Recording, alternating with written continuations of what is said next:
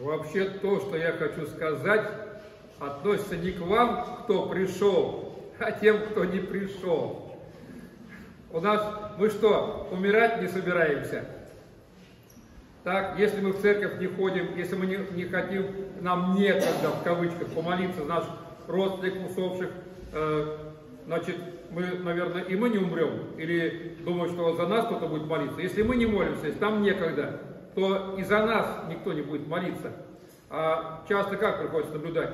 Приходит вчерашний день, ну, накануне, перед субботой, люди идут, с работы заходят, за ящик записку подали, свечку купили, поставили и бегом из храма. Да подожди, сейчас пусть будет. Не-не-не-не-не-не-не.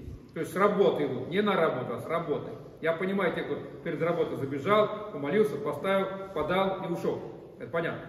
А те с работы, то есть многие из нас, ну понятно, что молиться не хотим. Понятно, дьявол не мешает, э, я про это ничего говорить не буду, хотя можем молиться, можете заставить, а помолиться с умерших, которые тоже умерли, тоже думают, что еще поживут, как мне одна говорила соседка. Ну, когда буду старенькая, тогда буду в церковь ходить. А сколько тебе лет? 72. Она еще молоденькая. Так, а старенькая сколько? Ну, лет 90 там с лишним. А доживешь? Ну а как же? У меня мама прожила там 93 года, умерла. Но, к сожалению, она умерла в 74. И никто из нас не знает, когда мы умрем. Поэтому мы должны быть готовы всегда предстать перед Богом. И Господь в Евангелии говорит, блажен раб, который бдит, который предстанет перед Господом бдящим.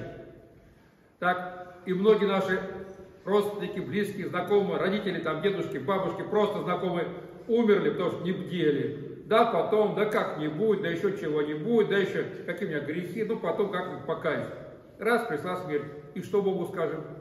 А там уже отговорки не принимаются. Так вот, и у них одна надежда, это наша молитва, это мы с вами. А мы и им помочь не хотим. Я говорю не про тех, кто здесь, а про тех, кого нету. Но тех, кто здесь, тоже должны делать выводы. И как мы молимся наших усопших, так и за нас будут молиться. Поэтому давайте вознесем наши молитвы. Тем более, что войны еще погибают, надо про них не забывать. А, поэтому все нуждаются, все усопшие нуждаются в наших с вами молитвах.